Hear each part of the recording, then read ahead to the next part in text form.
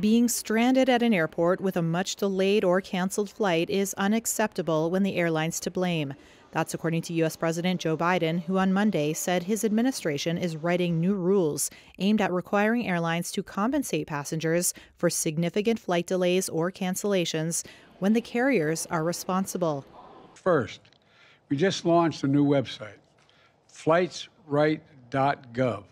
It features a dashboard we created last fall to give travelers more transparency into airlines' compensation policies. Later this year, my administration will propose a historic new rule that will make it mandatory, not voluntary, but mandatory, for all U.S. airlines to compensate you with meals, hotels, taxis, ride shares, or and rebooking fees, fees, and cash, miles, and or travel vouchers whenever they're the ones to blame for the cancellation or delay.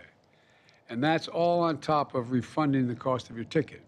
But a delay or cancellation due to weather is not considered an airline's fault. So if your jet is grounded in a snowstorm, this rule would not apply. And it remains unclear when the rule will be finalized. A July 2021 proposal to require airlines to refund consumer fees for baggage that is delayed is still not finalized.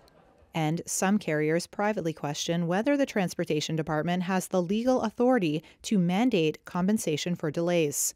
Last August, most U.S. carriers voluntarily committed to provide hotels or meals, but resisted providing cash compensation for delays. American air travelers deserve better. The Biden administration has sparred with U.S. airlines over who is to blame for hundreds of thousands of flight disruptions last year, some of which were due to a shortage of airline staff. The trade association Airlines for America has pushed back, saying U.S. airlines, quote, have no incentive to delay or cancel a flight and do everything in their control to ensure flights depart and arrive on time. But safety is always the top priority.